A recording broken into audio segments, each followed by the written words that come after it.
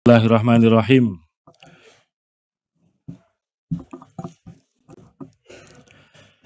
Pembacaan Keputusan Komisi Pemilihan Umum nomor 360 tahun 2024 tentang penetapan hasil pemilihan umum presiden dan wakil presiden, anggota Dewan Perwakilan Rakyat, Dewan Perwakilan Daerah, Dewan Perwakilan Rakyat Daerah Provinsi, dan Dewan Perwakilan Rakyat Daerah Kabupaten Kota secara nasional dalam pemilihan umum tahun 2024.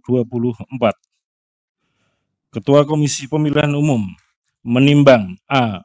Bahwa berdasarkan ketentuan pasal 411 ayat 3 Undang-Undang Nomor 7 Tahun 2017 tentang Pemilihan Umum, Komisi Pemilihan Umum wajib menetapkan secara nasional hasil pemilihan umum anggota Dewan Perwakilan Rakyat, Dewan Perwakilan Daerah, Presiden dan Wakil Presiden, dan hasil pemilihan umum anggota Dewan Perwakilan Rakyat Daerah Provinsi dan Dewan Perwakilan Rakyat Daerah Kabupaten Kota.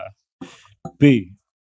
Bahwa untuk melaksanakan ketentuan pasal 92 ayat 1 Peraturan Komisi Pemilihan Umum Nomor 5 Tahun 2024 tentang rekapitulasi hasil penghitungan perolehan suara dan penetapan hasil pemilihan umum. C.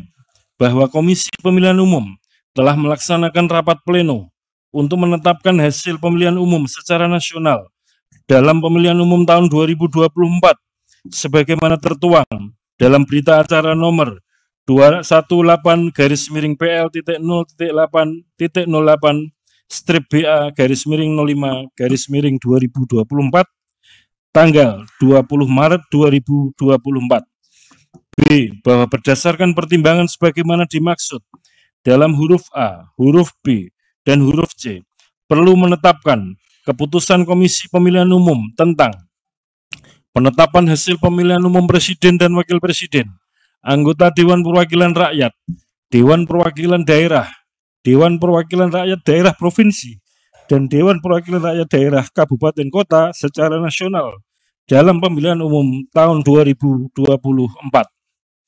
Download Tribun X sekarang menghadirkan lokal menjadi Indonesia.